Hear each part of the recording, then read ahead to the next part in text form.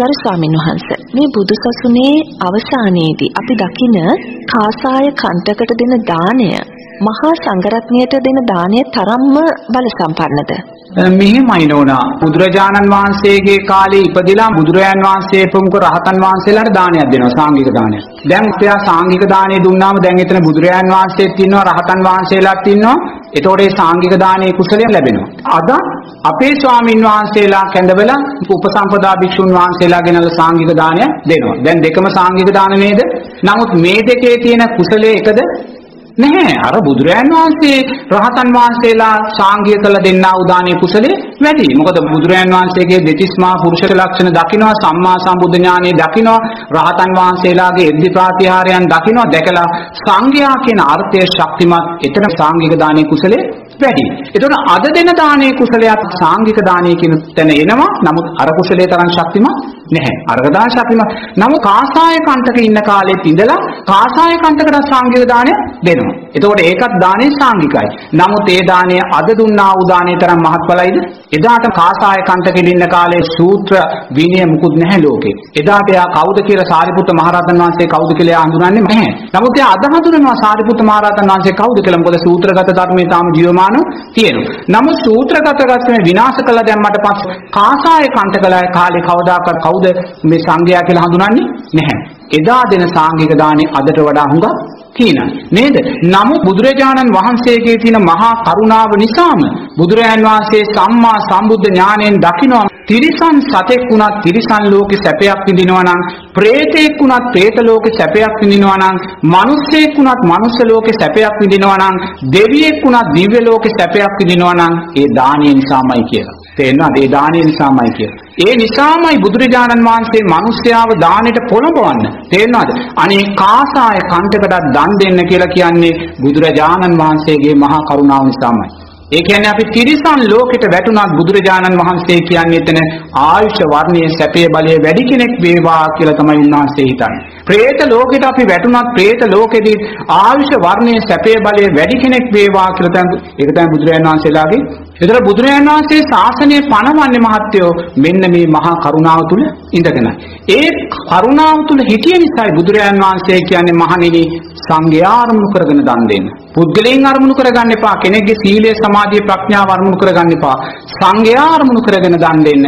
කාසාය කණ්ඩකටත් දානයක් සාංගික කරන්න පුළුවන් කියලා බුදුරජාන් වහන්සේ කිව්වේ නැත්තම් සමහර අද ඉන්න පින්වතුන්ලා සමහර ස්වාමීන් වහන්සේලාත් එක්ක ගැටෙන්න පුළුවන්. තේරෙනවද? ඒතකොට බුදුරජාන් වහන්සේ ඒක ඉදා දකින්නවා. බුදුරජාණන් වහන්සේට මේ ශාසනය දවසක් හෝ වැඩිපුර ආරක්ෂා කරන්න. ශාසනය දවසක් හෝ වැඩිපුර ආරක්ෂා වෙලා ඒ ශාසන අර්ථයන් තුලින් මිනිස්යා කුසලයට යොමු කරන්න. ඒ නිසායි බුදුරජාණන් වහන්සේ කාසාය කණ්ඩකට දන් දෙන කාරණය තුල කියන්නේ කොතනකදවත් ස්වාමින් වහන්සේලාගේ සීලය හොයන්න යන්නේ එපා. ස්වාමීන් වහන්සේලාගේ වැරදි හොයන්න යන්න එපා. ඒක අපිට අදාළ නෑ. උන්වහන්සේ වැරදි කළොත් උන්වහන්සේලා ඒ වරගෙන යාවේ. ඒ නිසා බුදුරජාණන් වහන්සේ කියනවා ස්වාමින් වහන්සේ කෙනෙක්ගේ මොන වැරද්ද දැක්වත් ගිහි කෙනෙක්ට ඒක ඇඟිලි ගහන්න යන්නේ? සංඝයා අරමුණු කරගෙන ඔබ දන් දුන්නා නම් සංඝයා අරමුණු කර ලැබෙනා වූ දාණය අපිට ලැබෙනවා. එහෙම නැතුවම අපි ස්වාමින් වහන්සේලාගේ වැරදි හොයන්න යන තැනදී අපි අප්‍රමාණ අකුසල් සිද්ධ කරගන්නවා. තේරෙනවද සංඝයා කියන අර්ථයෙන්ුත් එක පැත්තක් දුර්ල කරගන්නවා. මොකද ස්වාමින් වහන්සේ කෙනෙක්ගේ වැරද්දක් තියෙන්න පුළුවන්. එක සිල්පදයක් බින්දෙන්න පුළුවන්. නමුත් උන්වහන්සේ ඊතුරු සිල්පද 226ම රකින්න කෙනෙක් වෙන්න පුළුවන් නේද එතකොට නිරේතුරුවම අපි බුදුරජාණන් වහන්සේ කියන තැන ඉන්න ඕනේ බුදුරජාණන් වහන්සේ කියන තැන හිටියේ නැත්තම් පින වැඩෙනවා ප්‍රඥාව අපි ළඟට එන්නේ නැහැ. දැන් කොතනකවත් අපි අහලා තියෙනවද අනේ පිටිසිතුමා එහෙම නැත්නම් විසාකාව බුදුරජාණන් වහන්සේ හොය හොයා රහතන් වහන්සේලා හොය හොයා දන් දෙන්න ගියා කියලා? කිසිම සූත්‍රගත ධර්මික කොතනකවත් විසාකාවෝ අනේ පිටිසිතුමා වූ ඒ සෝවාන් ඵලෙපත් වෙච්ච උපාසකයෝ මහත්යෝ කොතනකවත් බුදුරජාණන් වහන්සේ පස්සේ හොයාගෙන ගිහලා දන් දීලා නැහැ. තේරෙනවද?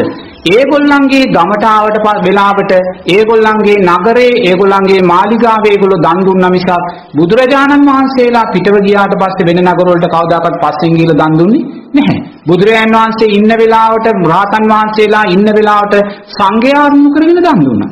උන්වහන්සේලා පිටත් වෙලා ගියාට පස්සේ සංඝයා අරමුණු කරගෙන ඉන්න ස්වාමීන් වහන්සේලාට දන් දුන්නා. ප්‍රඥාව කියන්නේ එතන. ඒ සෝවාන් කෙනෙක්ගේ ලක්ෂණය. මොකද එයා සංඝයා කියන තැන අර්ථය පිහිටලා. බුදුරජාණන් වහන්සේ ධර්මයේ කෙරේ ශ්‍රද්ධාව පිහිටලා. බුදුරජාණන් වහන්සේ කියනවා නම් මහත්යෝ අනිවාර්යයෙන්ම සංඝයාට දන් දෙන්න කියලා සෝවාන් කෙනා කවදාකවත් ඒක බිඳින්නේ නැහැ.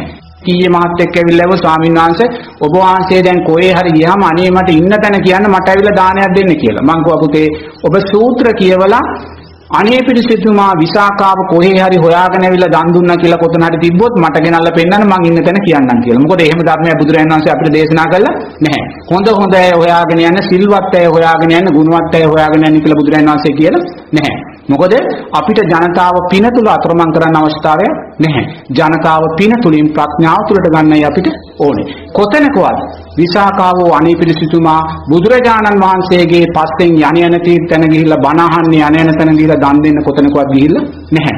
ඒක සෝවාන් ඵලයේ ලක්ෂණයක්. තේරෙනවද? ඒ නිසා නිරේතුරුවම පින කියන හුදු සංස්කාරයට රැවටිලා ඒ සංස්කාරයේ ආස්වාදයට රටවටේ දුවන්නේ නැතුව පින කියන කාරණය තමා තුලින් ගමේ පන්සල තුලින්ම රැස් කරගෙන ප්‍රඥාවට එන්න දක්ෂ වෙන්න. මගේ ජී ජීවිතයේ අවුරුදු 44 දී මම පැවිදි වෙන්නේ. නමුත් මගේ පැවිදි ජීවිතයේදී මම ගමේ පන්සලෙන් පිටත ගිහිල්ලා නැහැ. ගමේ පන්සලේ ස්වාමීන් වහන්සේලාගේ දුර්වලතාවයන් මම දැක්කා. නමුත් අපි ඒවට ගැටෙන්න ගියේ නැහැ. තේන සංඝයා කියන අර්ථය වුණා ඉතින් ගමේ පන්සල තමයි අපේ කුසල් මධ්‍යස්ථානය කරගත්තේ. තේරෙනවද? අපිත් රටවටේ හොයන්න ගියා නම් තාමත් අපි හොයනවා. තේරෙනවද? ඒ නිසා ගමේ පන්සල මුල් කරගෙන ගමේ පන්සල සංඝයා හැටියට දකමින් ගමේ පන්සලේ වැරදි තිබ්බොත් ඒවා අතහරිමින් බුදුරජාණන් වහන්සේ කිව්ව සංඝයා කියන තැන හිටපු නිසායි මහත්වෝ අපි මතු කරගෙන මෙතෙන්ට ආවේ. තේරෙනවද? එතන තමයි බුදුරජාණන් වහන්සේ අපිට පෙන්වන්නේ. තේරෙනවද? එහෙම නැතුව අපි ස්වාමින් වහන්සේලාගේ පෞද්ගලිකතාවයන් හොයාගෙන යද්දී ප්‍රඥාවෙන් අපි බැහැරට යනවා. දැන් හිතන්න පන්සලක් තියෙනවා. ඒ පන්සලට මහත්වෝ දාස් ගණන් සෙන දෙනවා.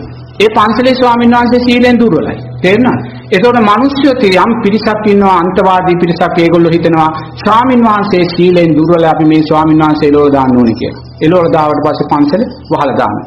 දැන් මේ පන්සල වහලා දැම්මට පස්සේ මහත්තයෝ කී දහහක් මිනිස්සෙන්ට කුසලයේ කියන කාරණේ අහිමි වෙනවද? නේද? ඒ පන්සල තියෙද්දි මිනිස්සු දහස් ගාණක් ඇවිල්ලා දන් දුන්නා.